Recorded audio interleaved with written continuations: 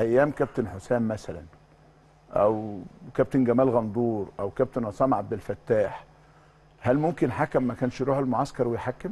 ما فين الكلام ده؟ أنا بسأل. لا خالص. لا خالص. انسى.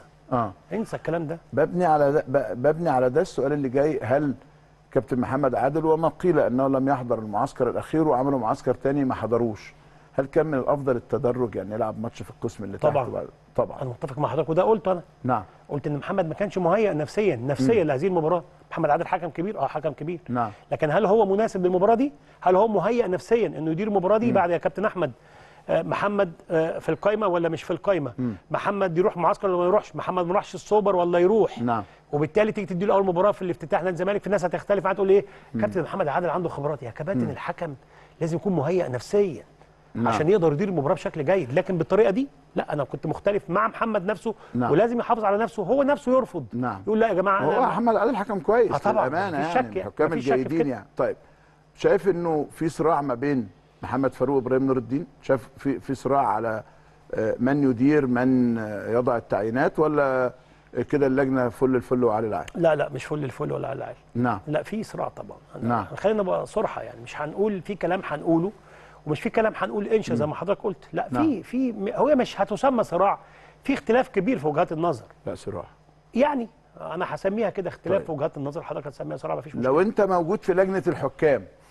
كنت هعمل فاصل بينهم ونظبط الدنيا. لا غير الفصل لو أنت موجود في لجنة الحكام بتكلم على ماتش الزمالك والبنك الأهلي. كنت هتحمل مسؤولية أنت حضرتك أهو تاني كابتن توفيق قال إنه الاثنين بينالتي بتوع البنك الأهلي مش بينات بس ده. رأي فني في الآخر. بالظبط. المشكلة كانت في ال- البينالتي اللي اتحسبت على نادي الزمالك ان هنا لا تحتمل الرأي الفني. بالظبط. صح ولا أنا صحيح، غلطان؟ لا، صحيح. طيب. هتحمل مسؤولية لمين؟ للكابتن محمد عادل ولا الكابتن محمد أميدو سلامة؟ لا أنا كان ال- المسؤولية الأكبر على الكابتن محمد عادل. محمد عادل. طبعا. نعم. ما أنت حكم وأنت اللي بتاخد القرار النهائي. نعم. هو النهارده مين اللي بياخد القرار النهائي في في المباراه يا كابتن؟ يعني آه. النهارده أنا محمد سلامه ميدو والله الراجل شاف حاجة معينه فجاب الراجل قال له كذا. نعم. أنا النهارده القرار النهائي هو الحكم المباراه. مم. أنا اللي اخد القرار. حسبت أو ما حسبش أو اصر على قراري. هو ده الموضوع. نعم. حصلت في مباراه الاهلي وسيراميكا. خالد جمال الغندور استدعى الحكم محمود بسيوني. على وجود احتمالية مخالفة قبل إحراز آه، طاهر محمد طاهر هدف حصل. الأهلي نعم. طلع محمود بسيوني شافها قال له لا قال له لا. ما خدش 20 ثانية وأصر على آه، قراره مظبوط فاذا هنا القرار النهائي الحكم المباراة مم. هل أنت من أنصار إنه الحكام يتنوروا ويتلمعوا وكل شوية يطلعوا في التلفزيون سواء. حكم ساحة ولا حكم فار ولا ولا يقرب من ناحية المية ولا يمشي جنب يقول القناة لك هيتكلم عن نفسه وعن تاريخه يتكلم وعن هيتكلم بعد ما يبطل يبقى. يتكلم آه بعد ما يبطل حضرتك بس هو مش من حقه برضه إنه يقدم نفسه انه الناس بعد تعرفه الموسم حضرتك بقى ما الناس شايفاه في الملعب يا كابتن؟ يعني. آه. 50 60 ألف ما بيشتموا الحكام كو يعني نعم. الحكام ما شاء الله معروفة من الحتة دي كابتن لو أنت حكم وحاسس إنه في حد قوي في اللجنة ضدك وعشان أكون أنا ما بحبش الانشا أكثر وضوحا يعني. آه، آه، محمد عادل أو كابتن محمد عادل يشعر تماما إنه كابتن إبراهيم نور الدين كان يريد اقصائه من القائمة الدولية وإن اللي وقف معاه كان محمد فاروق.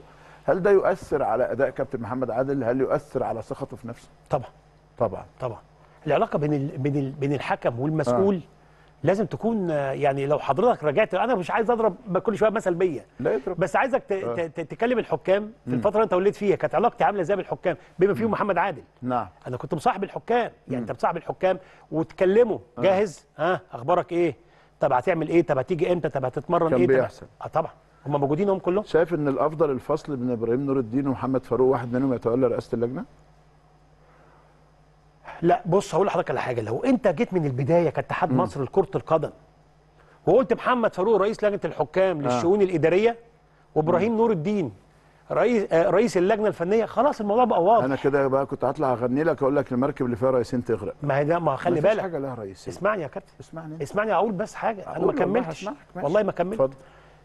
هو بوساكا وكولينا مش في الاتحاد الدولي الاثنين؟ ماشي. بوساكا وكولينا. كده برضو؟ نعم. مش في كل واحد عارف شغله فين؟ هناك ثقافة مختلفة. طب ما كابتن كابتن جمال الغندور هو من استحدث من استحدث. المنصب المدير الفني. مش كده برضو؟ حضرتك. كنت موجود. مدير كان أيام. الكابتن محمد حافظ موافق جدا على مدير فني. مش كده ما برضو؟ عنديش مشاكل خالص. بس طب ما. اتكلمتش فانا بقول أنا لك. بتكلم إنه ممكن مدير فني يبقى على علاقة وثيقة وتعاون رائع مع رئيس ما هو اللجنه لازم يتعاون. وممكن هو دول بيتعاونوا؟ لا.